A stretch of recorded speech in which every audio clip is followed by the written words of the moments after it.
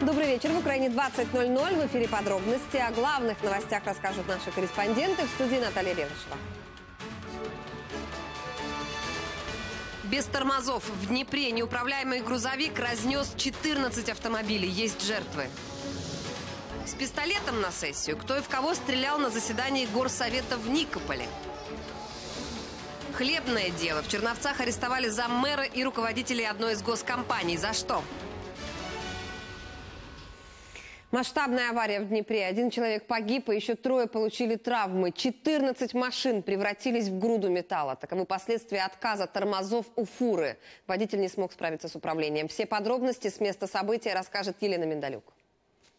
Видеокамера наблюдения, на котором зафиксирован момент ужасной аварии, появилась в сети чуть меньше, чем через час после ДТП. Фура спускается по улице Космической, но перед перекрестком не тормозит. На скорости сносит бусик. Тот улетает в столб. Одновременно задевает Митсубиси. Водитель буса погиб на месте. А вот Юрию Чебанук повезло. За пару секунд после аварии он вышел из машины. Что произошло, понял не сразу. Там стояли машины на светофоре, и он их объезжал. А здесь уже он не справился просто с рулевым управлением. Он уже не смог вывернуть. А здесь стоял я. А та машина, я не понял, как оказалось. Она или за мной стояла, вот та разбитая. Я не знаю. И он меня вот это вот ударил. После этого фуры вылетают на парковку возле супермаркета. Машины, оказавшиеся на ее пути, разлетаются в разные стороны, как кегли. Грузовик остановился, только врезавшись в бетонные плиты. Когда он уже спрыгивал от АТБ, скорость была километров 60. Когда он спрыгивал, я уже тогда отскочил. Не было скрежета, просто разлетались машины, тормоза уже не было. Поэтому был сильный удар уже здесь, где плиты. За считанные секунды неуправляемая фура унесла жизнь одного человека. Еще трое получили травмы. Среди них и сам водитель грузовика. Его доставили в больницу. Говорить с журналистами мужчина отказывается. Прибывшие на место спасатели сразу же залили разбитые машины пеной. Опасность в том, что 12 автомобилей все с различным видом топлива. То есть есть и дизель топлива, бензин и газ в том числе. То есть при такой температуре малейшая искра при выполнении аварийно-спасательных работ может произвести в дальнейшем возгоранию всех автомобилей. В результате аварии 14 автомобилей превратились в металлолом. И хозяевам повезло. В момент ДТП они были в супермаркете. Дым такий, или пыль, или дым что-то, и машина выскочила, машины лежали. По предварительной информации правоохранителей, у грузовика отказали тормоза. Водитель груженного автотранспорта пытался маневрировать и избежать столкновения, у него этого не удалось. Возможно, повторяю, возможно, отказали тормоза. Фура перевозила металлические трубы, была перегружена на 7 тонн. Почему водитель не смог затормозить? Из-за перевеса или технической неисправности, выясняют следователи. Тест на содержание алкоголя в крови уже провели. По предварительным данным, водитель был трезвым. Сегодня ему исполнилось 62 года.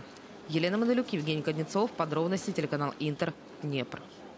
Жителям Балаклея ничего не угрожает. Пожар на территории воинской части, где хранятся боеприпасы, удалось погасить. Взрывы прекратились. А вот почему вчера там снова рвались снаряды, разбиралась Ирина Баглай. Пожар локализовали, взрывы прекратились. Еще утром на территории 65-го ракетно-артиллерийского арсенала в Балаклее военные спасатели тушили огонь. С неба противопожарной авиации, наземной, з танків і автомобілів. Е, Наразі лишилося два осередки. Е, Працює і військова техніка, і техніка е, Державної служби надзвичайних ситуацій. І це невеликі осередки. В Минобороны уверяют, мирным жителям ничего не угрожает. Официальных версий возгорания несколько. Перша е, загорання сухої трави на ділянці технічної території, що не була очищена від бух- вибухонебезпечних предметів. Чи це було від танка, як ви- від вихлопної труби, чи це було як від е, е, того, що ми кажемо, що танк наїхав е, на звичайний пучок пороху, який лежав в траві. Территория, где вспыхнул огонь, техническая, подчеркивают в Минобороны. Там нет складов с боеприпасами. Большую часть после взрывов прошлой весной разминировали. Осталось 30%, где и произошло ЧП. 28 грудня е, в зв'язку з початком зимового періоду заморозками, снігопадами та зміркувань безпеки е, було прийнято рішення щодо е, значить, роботи по розмінуванню місцевості було призупинено до настання сприятливих пого- погодних умов. Противопожарный танк, как рассказали военные, двигался для разминирования по маршруту, где не должно быть взрывоопасных веществ. Маршрути по технічній території вони були ще прокладені е, в 2017 році. І на сьогоднішній день, е, скажімо так, маршрути зачищені. Населенные пункты, расположенные поблизости со складами с боеприпасами, главная проблема, говорят военные, и глобально ее решить нереально. Нужно либо отселить людей, либо построить максимально далеко от городов и сел новые арсеналы. Чтобы обезопасить людей в этом году, на модернизацию складов выделено полмиллиарда гривен. Цей фінансовий ресурс розподілено в першу чергу для будівництва заглиблених обсипних сховищ для безпечного зберігання боєзапасу. В цьому році сплановано побудувати 15 таких обсипних сховищ на трьох найбільших арсеналах. Кроме того, большую часть боеприпасов со складов Балаклеи вывезли во временные места хранения. Ирина Баглай, Максим Чеблин. Подробности. Телеканал Интер. Члены нескольких ультраправых организаций Национального корпуса и Си-14 принудительно доставили в СБУ бразильца Рафаэля Маркуса Лусварги, который воевал на стороне боевиков на Донбассе. Напомню, в прошлом году боевика так называемых ДНР, ЛНР приговорили к 13 годам лишения свободы. В суде он признал свою вину, но позднее его отпустили из-за нарушений при вынесении приговора. Поймали его националисты прямо возле посольства Бразилии. От зараз він є, такий прекрасний Рафаель Усваргі. Вже ви розуміли, він публічно сам зізнавався в інтерв'ю, що убивав, приймав участь в бойових діях, отримав 13 років, але його, е, як я не знаю, як його відпустили на волю, то це в принципі ще ніхто не знає. Йому суд дав 13 років, а він от на волі. Как бы там ни было, у бразильца на руках приговор апелляционного суда Киева, который вынес этот одиозный вердикт о его освобождении, и действия националистов похожи на самосуд. В СБУ же с Лусварги пообещали разобраться, чем он занимается в Киеве, что делал на Донбассе. На вопрос журналистов, есть ли правовые основания для задержания бразильца, в СБУ ответили, что был приговор и пока невозможно прогнозировать процессуальные решения. А в Каменском радикалы сорвали концерт артистов, которые играли в легендарном фильме «В бой идут одни старики». Неизвестные якобы заминировали дворец культуры, на место прибыли взрывотехники. Ничего опасного не нашли, но ни актеров, ни зрителей в зал не пустили. Тогда артисты провели мероприятие прямо на улице. Подобные концерты прошли накануне Дня Победы в десятках городов при поддержке оппозиционного блока. До этого националисты пытались сорвать их встречу с представителями э, гора- и с горожанами, отключили свет в здании, но люди не разошлись Мальчик підійшов і каже, театр замінірований. Пригласили и организации ветеранов, и жители города. Люди пришли, оказывается, э, заминировали и дворец культуры, и другие з- дв- залы, где мог пройти этот концерт. Я не знаю, зачем они они это делают. Если это делает власть, то я обращаюсь к вам, ну что вы издеваетесь над людьми? Это не агитационное, не политическое мероприятие. Если это сделали радикалы, с которыми власть не справляется, значит, эта власть должна уйти. Не прекращаются обстрелы на Донбассе. За минувшие сутки боевики открывали огонь 55 раз, били из запрещенных Минском минометов, гранатометов и крупнокалиберных пулеметов. Большинство обстрелов пришлось на Донецкое направление. Игорь Левинов, Левинок расскажет все подробности З зенітки стріляли, з бехи стріляли, з пулеметів, з утьоса. И это только сегодня на рассвете. Морские пехотинцы на передовой под Мариуполем рассказывают, война продолжается как по графику. С наступлением сумерек со стороны врага начинаются выходы. На армейском сленге обстрел, когда бойцы слышат выстрелы противника и сами берутся за оружие. Давали, давали відповідь. И что только сюда не прилетало, морпехи собрали уже целую коллекцию смертоносного железа. Несмотря на мирные соглашения, оккупанты продолжают применять весь имеющийся арсенал. Поле вокруг уже перепахано снарядами. Оце все со- собрано за період, коли було, було перемир'я, перемир'я великоднє. Там птури, СПГ, Беха, гради. Оце все вони нас так вітали. Морпехи хорошо окопались, но и земля не всегда спасает, когда вражеские осколки сыпятся прямо с неба. Противник часто применяет разрывные заряды. Позавчора двойка дуже нас хорошо по нам стріляла, тут по посадці рвалося. А в повітрі розривається, ну дуже така неприємна, неприємна річ. Якщо попадає в людину, то людину роздіває, можна сказати, до гола. Шкуру зриває, м'ясо вириває. От вражеских обстрелов страдает и мирное население. Канонаду нередко слышно даже в Мариуполе. Це населені пункти Водяни. В основному вони працюють по містах Місцевим, що ми неодноразово фіксували на минулому тижні, крайні дні, не соромляться працювати вже і за світлої пори доби. Е, От міномети були застосовані в в 120, 82 були застосовані близько обідньої пори. Кроме вооруженных провокаций, противник прибегает еще и к информационным. На днях боевики распространили ложь, что украинским морпехам нечем воевать. Сектор М не перевозять боєприпаси. Ну так голосом через рот доповідаємо, що сектор М вже півтора року як не існує. Це по-перше. По-друге, командування нашої військової частини цілком запевняє, що ми забезпечені і матеріально, і технічно готові дати відсіч, відсіч окупанту. Нет, у нас нормально. Нормально в плане. Ну, надо будет вломим. Из Приазовья Игорь Левинок, Вадим Ревун, Антон Чиженко. Подробности телеканал Интер. Совбез ООН готовится обсудить ситуацию на востоке Украины уже 29 мая. Об этом сообщил министр иностранных дел Украины. Инициативу поддержала и постпред Польши при ООН Джанна Вранецка. В последний раз ситуация на Донбассе была темой заседания в феврале 2017 года. Поэтому, по словам Вранецки, необходимо снова вернуться к вопросу конфликта и найти пути его урегулирования. Кто из секретариата ООН выступит с докладом, пока неизвестно. Иран под прессом. Израиль и США продолжают оказывать на страну сильнейшее давление. Они требуют отказаться от разработок ядерного оружия. Накануне, я напомню, израильтяне опубликовали данные секретного иранского архива, который их разведка похитила прямо из Тегерана. Все подробности знает Сергей Ослендер. Наступление на Иран идет сразу по нескольким фронтам. Американский суд присудил семьям жертв терактов 11 сентября миллиард долларов компенсаций, который должен выплатить Тегеран. При этом спецкомиссия по расследованию теракта не нашла прямых доказательств причастности иранских властей к трагедии, однако суд Нью-Йорка учел при вынесении решения выводы о том, что Иран якобы передавал материальную помощь Аль-Каиде. Когда было выгодно геополитически требовать э, вот эти компенсации от Саудовской Аравии, то Соединенные Штаты требовали Саудовской Аравии. Теперь, когда изменилась геополитическая ситуация, и Саудовская Аравия является лучшим другом а, Соединенных Штатов после Израиля, то вот поэтому как бы, да, у нас а, появилась вот эта вот иранская связка, которой не было раньше. Аналитики всего мира только и обсуждают, что же сейчас будет после громкого заявления израильского руководства об иранской ядерной программе. Никто не сомневается, что это был самый впечатляющий успех Масада за всю его историю. Теперь вопрос, как этот успех будет использован. Оппозиция уже обвинила премьера в том, что тот с излишней театральностью раскрыл деятельность израильской разведывательной сети в Иране. Это одна точка зрения. Другая заключается в том, что добытые материалы ничего бы не стоили, если бы их по-прежнему держали в секрете. Весь смысл этой операции как раз и заключался в том, считают аналитики, чтобы поймать Тегеран с поличным. Для публикации материалов момент был выбран просто идеальный. В Белом доме как раз решают, что делать с иранской сделкой, а тут такой козырь. Многие эксперты полагают, что документы были добыты уже достаточно давно, но их берегли как раз для такого случая. 12 мая президент Трамп примет решение, что делать с иранским договором.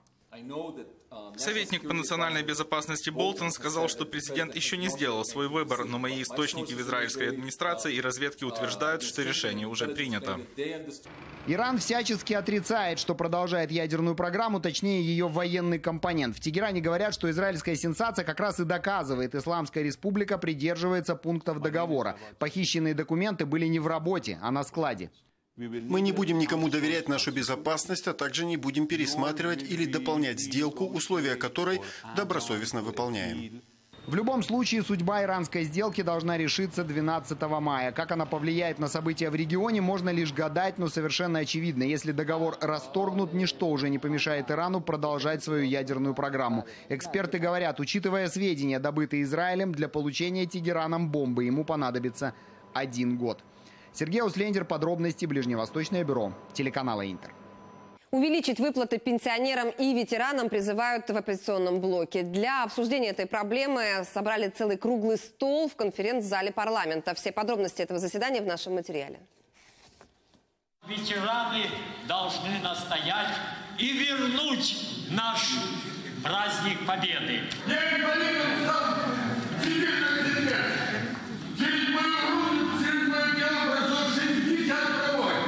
Пока в рабочем зале Верховной Рады пусто, в конференц-зале бурные обсуждения. Собрались члены ветеранских организаций, участники Великой Отечественной и нардепы. Главная тема заседания – социальная защита ветеранов. По словам активистов, сейчас мало кто вспоминает героев тех времен.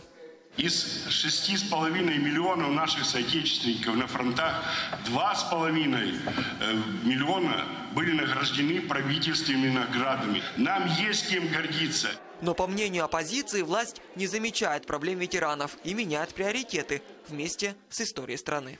Сегодня мы слышим о декоммунизации, мы слышим о переименовании улиц, памятников, мы слышим о переименовании и переписывании наглой, циничной истории. Первое. Нет попыткам переписать историю. Нет попыткам преуменьшить подвиг народов в Великой Отечественной войне. Это мы все видели на то, что творилось на памятнике Ватутина меньше, чем месяц назад и поддержать ветеранов, поддержать чернобыльцев, поддержать всех, кто помогал стране в сложное время и очень нуждается в том, чтобы страна помогла им. А вот помощи ветеранам как раз и не хватает. Пенсия маленькая, после введения монетизации льгот на проезд пенсионеры не смогут пользоваться общественным транспортом. Три транспорта и обратно три. Это шесть талонов я использую. А дальше, а завтра мне надо по-другому, к другому врачу и так далее. У нас никогда не сделают так, как положено ветерану. И очень много вопросов, которые поднимают люди, и они остаются за пределами внимания сегодняшней власти. Мы об этом говорили открыто, но мы будем настойчиво добиваться этого. Мы видим, насколько блокируются все социальные законы, все социальные инициативы, которые помогают пенсионерам, которые должны помочь пенсионерам э, выжить в это сложное время. Такая ситуация из-за неправильной политики власти, уверяют в оппозиционном блоке. Ведь сегодняшние реформы лишь усугубляют ситуацию. И все так называемые псевдореформы, они привели, это пенсионная, и медицинская так называемая, они привели к тому, что люди живут все хуже и хуже. При смене власти эта политика будет изменена и морально, и материально мы поддержим э, ветеранов и пенсионеров.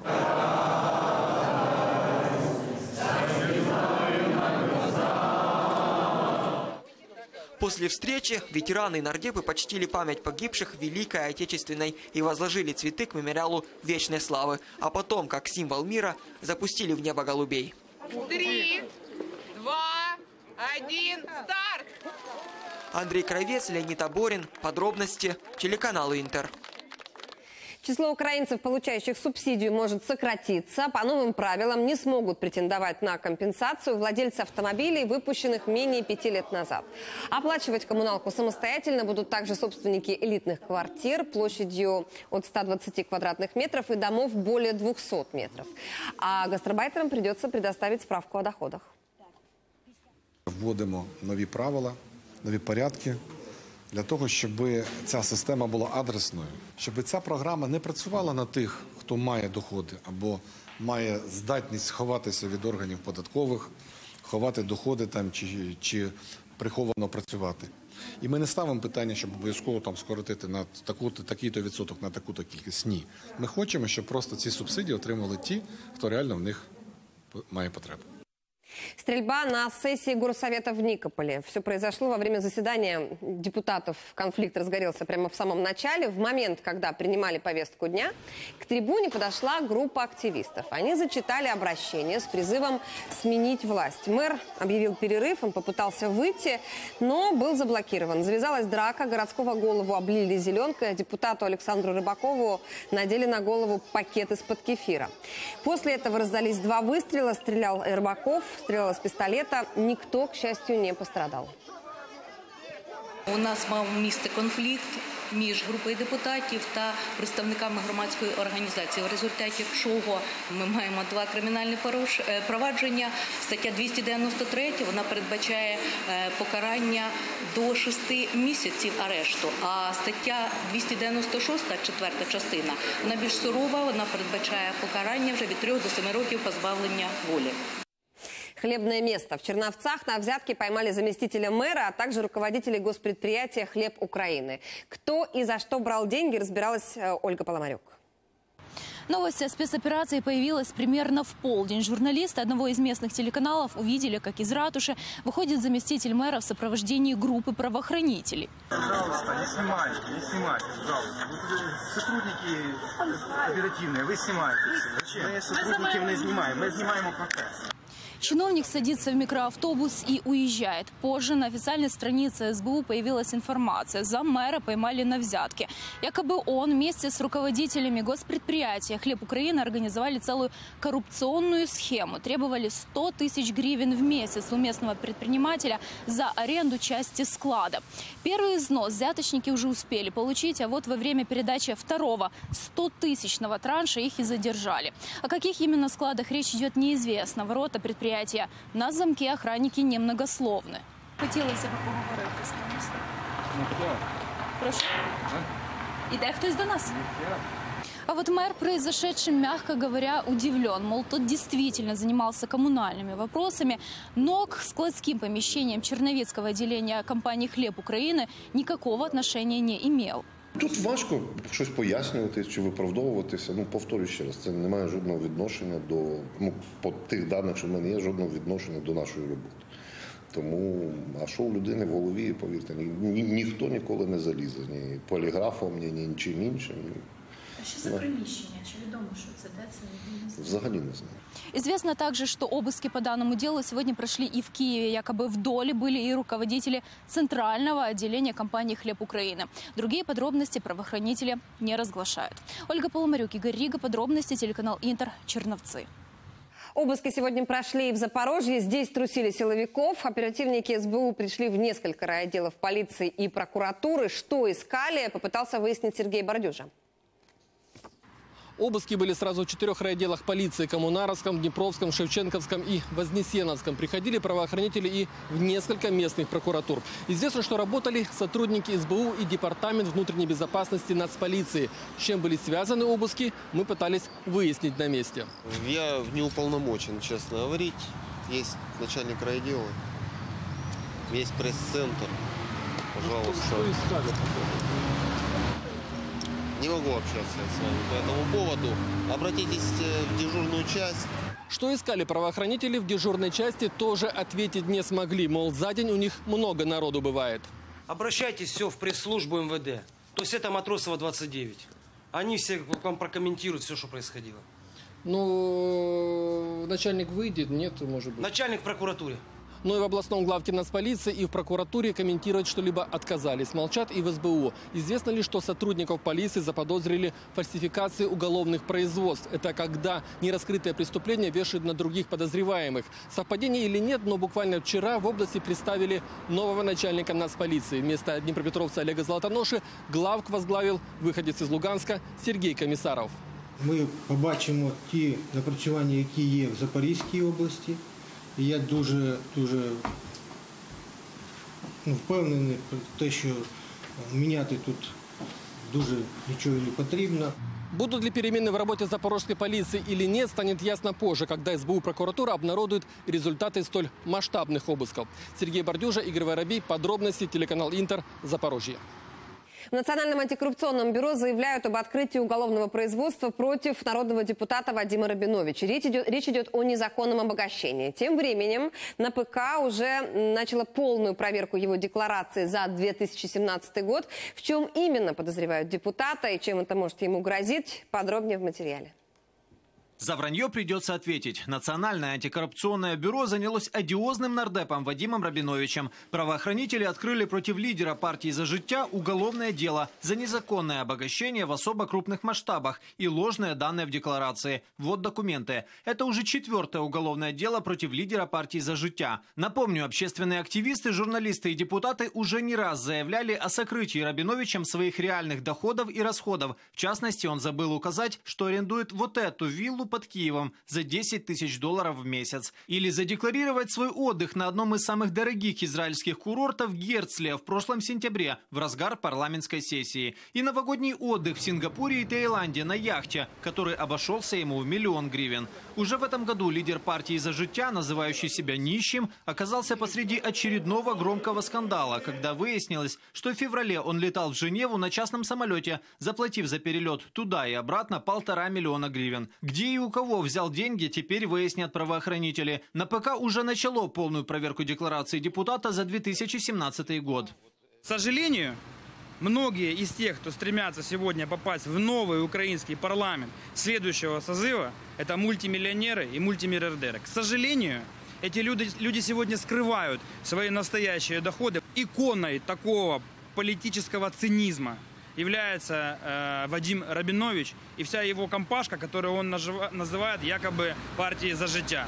Мы обратились в НАЗК, НАБУ, в САП, с тем, чтобы они расследовали э, результаты наших э, исследований, нарушений, которые он допускает, не декларируя свои замки, свои самолеты. Я хочу, чтобы лично президент, премьер-министр, первые лица силовиков взяли под контроль эту ситуацию и расследовали, вывели на чистую воду этого далеко не чистого и далеко не украинского политика.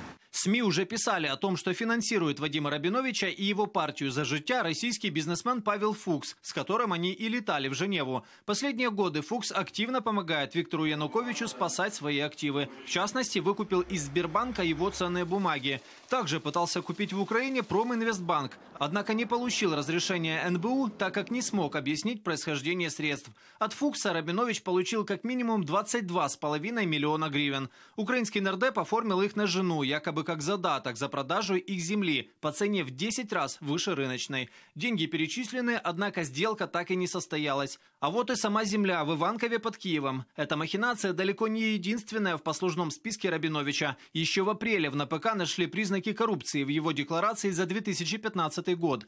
Он указал, что частично владеет компанией News Network, однако, как показала проверка, владел ей полностью. Что еще забыл задекларировать Рабинович и за какие услуги получил миллионы, теперь выяснят правоохранители. Эти факты могут стоить ему не только депутатского мандата, но и вылиться в вполне реальный тюремный срок. Как заявляют нардепы, уже этой осенью ГПУ готовится подать представление в Верховную Раду о снятии с Вадима Рабиновича депутатской неприкосновенности. Тогда же депутата могут лишить и украинского гражданства, ведь, как известно, Рабинович также является гражданином Израиля. Александр Горовой, Леонид Доборин, подробности телеканал Интер. Украина обновила и расширила антироссийский санкционный список. В документ внесли также бенефициаров крупнейших компаний-изготовителей минеральных удобрений. Андрея Мельниченко, Вячеслава Маше, Андрея Гурьева и Дмитрия Мазепина. Теперь после принятия списка Советом нацбезопасности его должны согласовать с Кабинетом министров. И если правительство одобрит все фамилии, то нелегальные поставки минудобрений из России прекратятся. Напомню, нардепы уже не первый год добиваются введения эмбарго на ввоз удобрений из России и полного возобновления работы украинских химпредприятий. И утверждают, что проследят, чтобы из списка, который сейчас в Кабмине, не исчезло ни одно имя. Вчора все ж таки РНБО пакет санкцій вело про- проти російських олігархів і проти російських підприємств. За моєю інформацією, так само було введено і щодо виробників е, щодо хімічної галузі російської. Але зараз е, цікава ситуація. Кабінет міністрів має затвердити цей список. Минулому році зупинилися там більшість е, підприємств хімічної галузі, при тому, що російські мінеральні добрива з країни-агресора йшли то взагалі без антидемпінгових мит, то коли відновлюються антидемпінгові мита, то е, під виглядом сумішей контрабанди.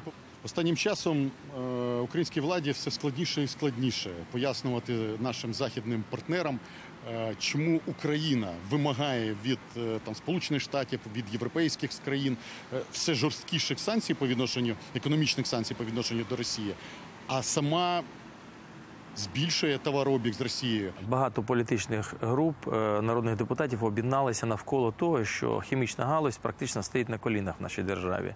Що сьогодні з Російської Федерації практично йде міндобрива, е, і за ці гроші, які отримує е, в принципі олігархи російські, фінансується тероризм на сході країни в окупованих територіях. Ми вимагаємо сьогодні від Кабміну прийняти правильне рішення і заборонити чотирьом олігархічним групам возити контрабанду е, міндобрив в Україну. Країна втратила майже 2 мільярди доларів. Уявіть, скільки можна було зробити за ці гроші в нашій державі.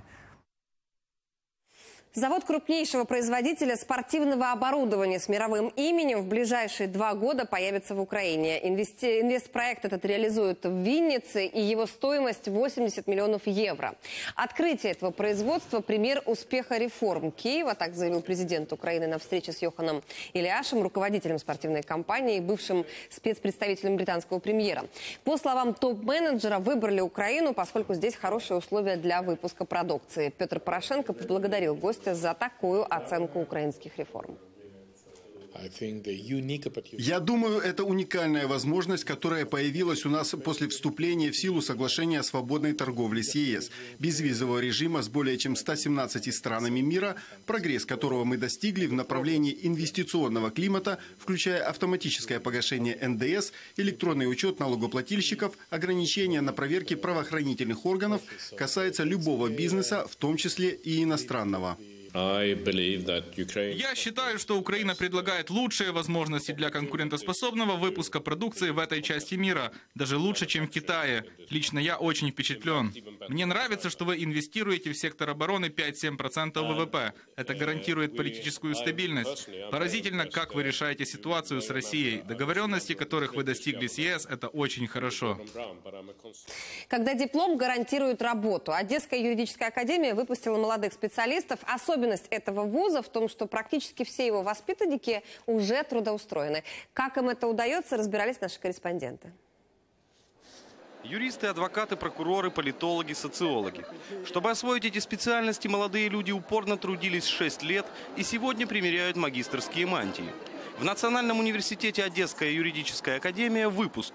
Екатерина Столяр приехала учиться из Черкас. Теперь возвращается домой не просто с дипломом в кармане. Проходя практику еще на пятом курсе, мне предложили место работы в главном территориальном управлении юстиции Черкасской области. Особенность нашего университета состоит в том, что э, все выпускники не могут быть стопроцентно уверены в том, что они будут трудоустроены в будущем. Дипломы магистрам вручает лично президент университета, народный депутат Сергей Кивалов. Уверяет, если не 100, то 90% выпускников, покидая стены академии, действительно обеспечены работой. И подчеркивает, ВУЗ принципиально принимает такое количество абитуриентов, которое сможет трудоустроить. Меня иногда спрашивают, а как вам удается трудоустроить выпускников? А мы заключаем договора с многими центральными органами власти, допустим, пенсионным фондом, и с Министерством юстиции, и с Генеральной прокуратурой, и Министерством внутренних дел. Мы это делаем, потому что нужны сегодня всем хорошие специалисты. И если они конкурируют в этом направлении, значит, они, они будут востребованы. Если они получают хорошие знания, значит, они будут трудоустроены. Магистрами сегодня стали полторы тысячи парней и девушек. Причем большинство из разных областей Украины, от Тернополя, Львова до Херсона и Харькова.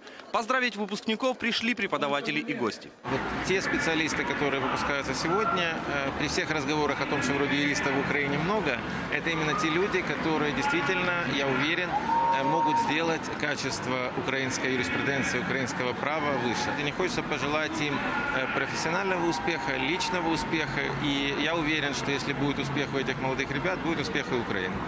Групповое фото на память вместе с президентом Сергеем Киваловым и магистры отправляются применять полученные знания на практике.